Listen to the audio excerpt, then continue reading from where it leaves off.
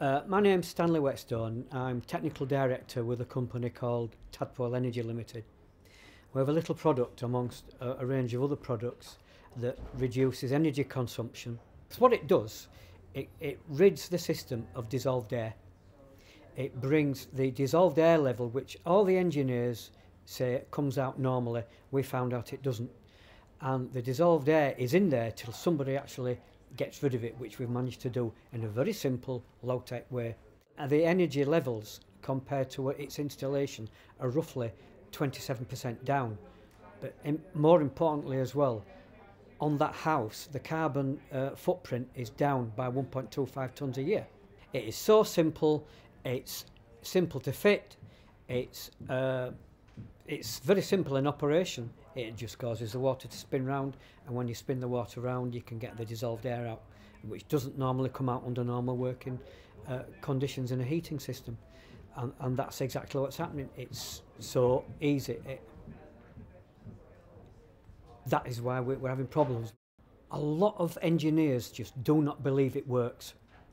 We speak with many, many engineers, and the hardest part of our job is to convince these engineers that yes, it does exactly what we say it does on the tin. What's important to stress is that we're not actually making claims. We are making reports or giving reports on installations over the last six years. And it's the feedback from our customers that are giving us this information so that we can pass that on uh, to people like Ofgem, people like the utilities, uh, and and then hopefully they'll get round the product.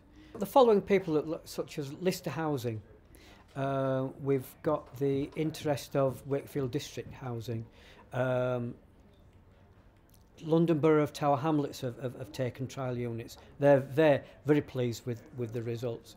Um, we're, we're talking to Age Concern, uh, uh, who have got quite a large number of, of properties that they would like to treat. For again, vulnerable people, I think Yorkshire Forward have been a huge help in, in, in with the low carbon best practice in driving uh, Tadpole in, into its rightful place uh, in, in, the, in the marketplace. And hopefully uh, the numbers will grow and as numbers grow, more people will be helped from fuel poverty and the the benefits will, will be to the families that are in this heat or eat situation, they can, they've got that choice taken away from them. We feel that uh, there's a, a, simple story to tell which doesn't take very much telling and yet it's once people see the test results that we've got already they'll be able to base their own decision on facts that we can put before them.